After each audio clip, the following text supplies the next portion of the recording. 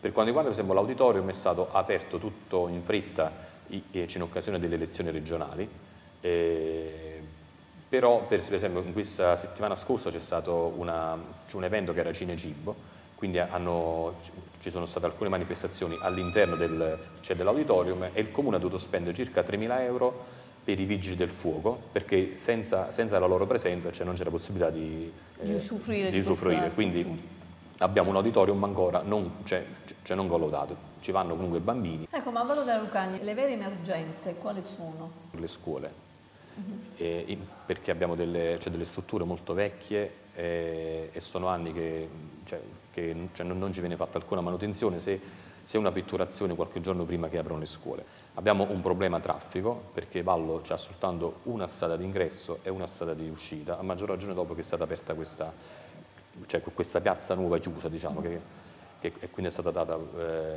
cioè con, cioè con, questo nuovo piano traffico. Diciamo.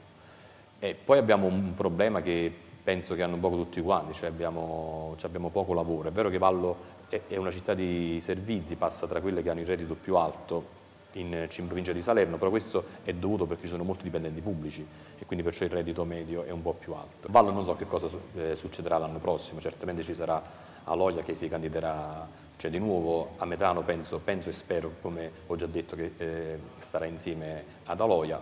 Non so se anche il Movimento 5 Stelle forse farà una come lista. Come penso e spero. Perché penso e spero perché è bene che stanno insieme. Ecco, sì. eh, penso che anche il Movimento 5 Stelle, cioè, credo che cioè, siano intenzionati a fare, a fare una lista, credo anche loro.